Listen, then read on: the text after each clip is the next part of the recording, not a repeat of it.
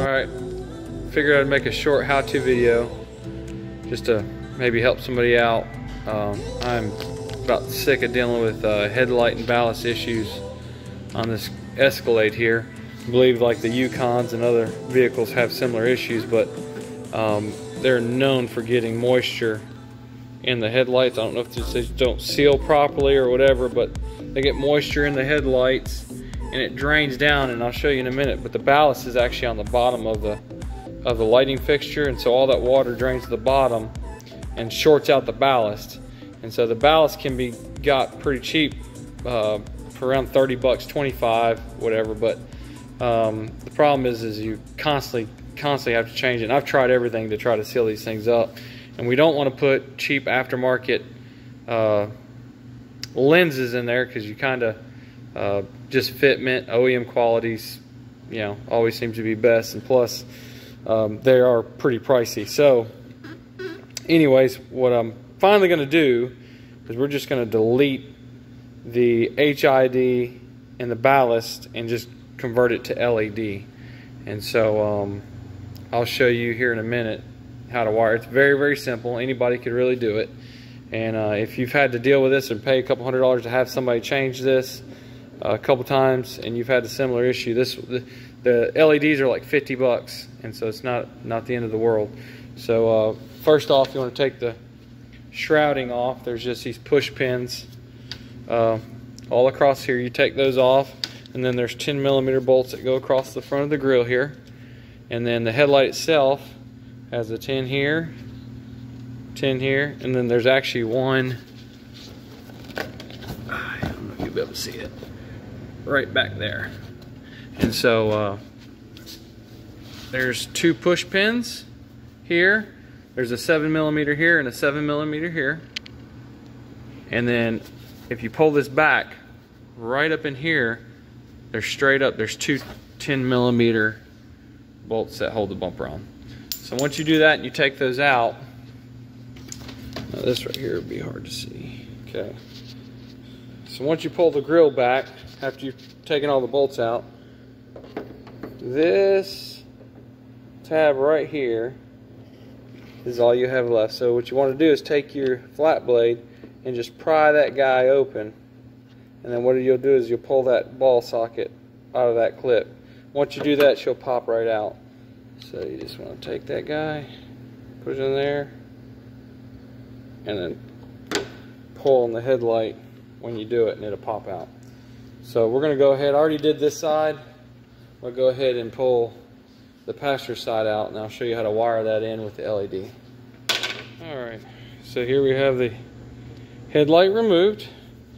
And so if your headlight's not working and you're just trying to figure out why, this is that ballast I was telling you about. And as you can see, you know, it's on the very bottom.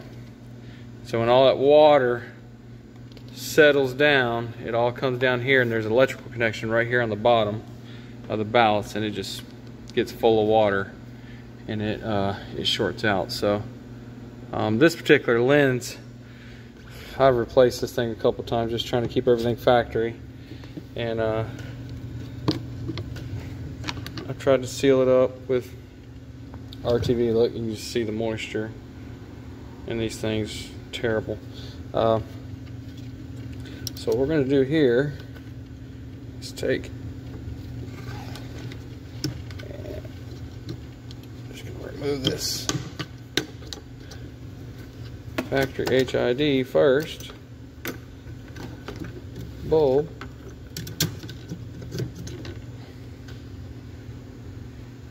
And so these are the particular LEDs that I bought. And when you're searching for these, I'll put a link in the description of these particular ones. But you search D1S LED and so there's literally hundreds to choose from. But what you're going to want to do is on your bulb here, this locking collar, we're going to have to move over. So you just push this little tab down here, and it's going to clamshell open up. Now, if you look right here, these are like the alignment pins. You'll have a small one, then a large one. And on the factory bulb there, there's a fairly large opening here. Now, if you compare that with the LED here,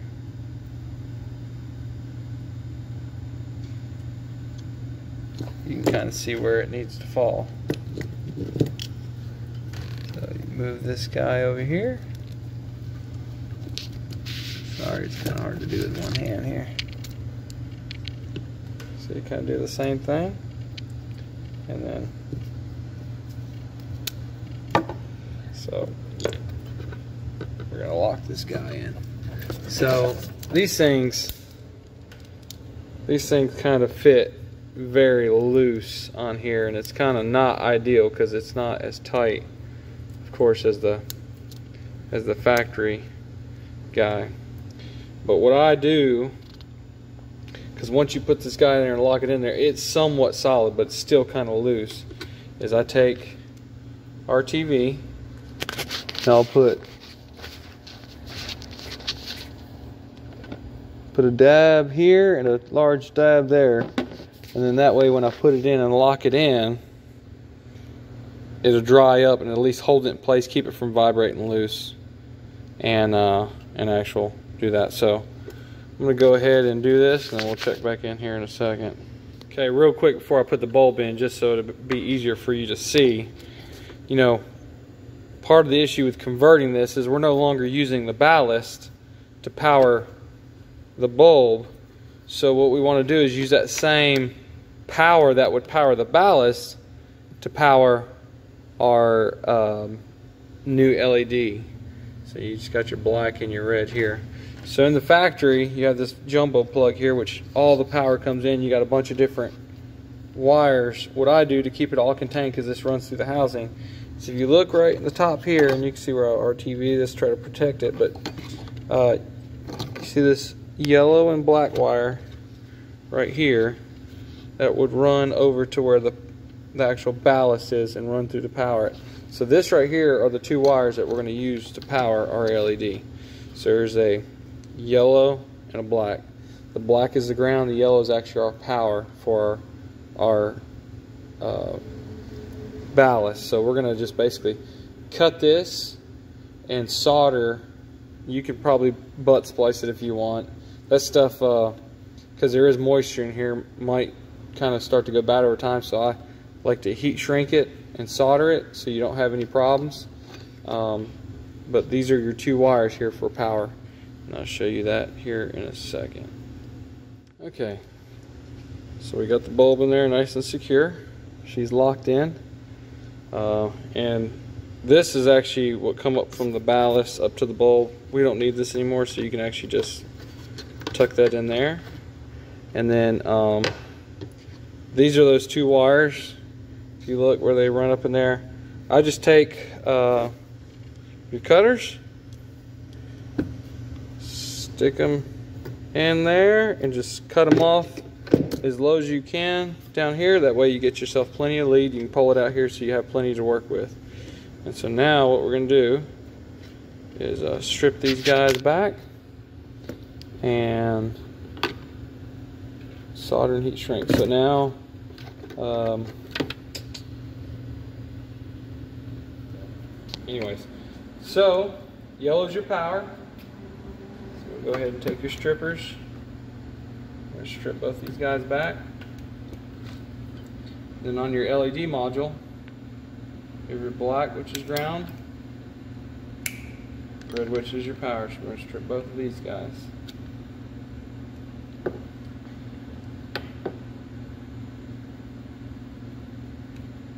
Like I said, you can butt splice these if you want, but you don't want to have to be dealing with this anymore, so I recommend you solder and heat shrink them. Two pieces heat shrink.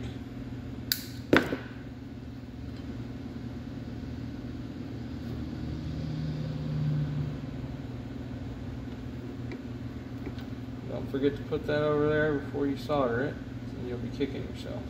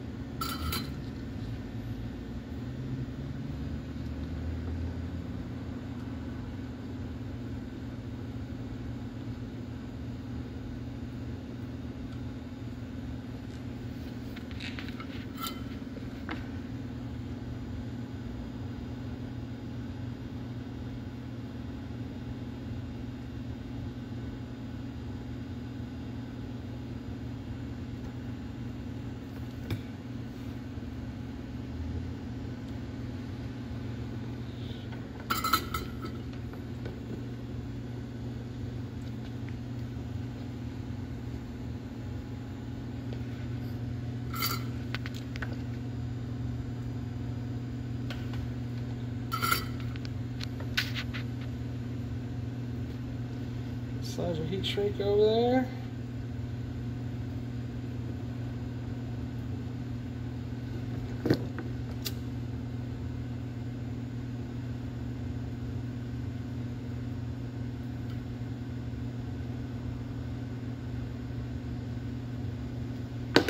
Okay, once you do that, you can just push everything back into the housing here.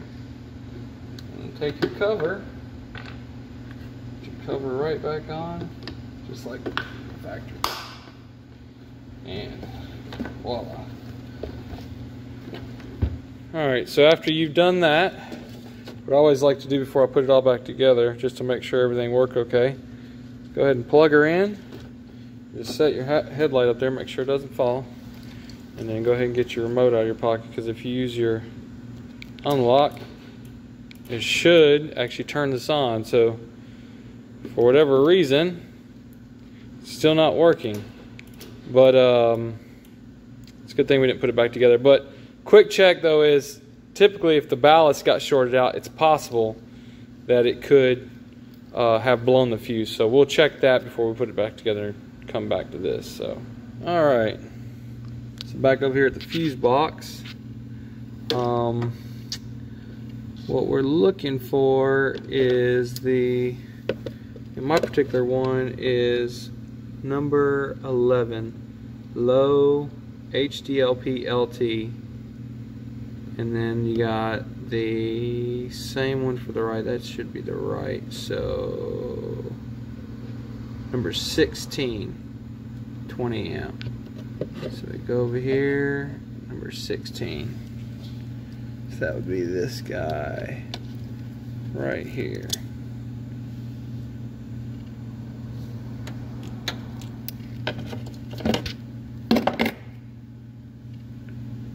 Alright, sure enough, she's blown. That's a good thing. Let's get us a spare fuse here. Put, put a new 20 amp in there. Let's go give this a try again. Aha. I like it. So we are good to go. So now I can go ahead and put this thing back together.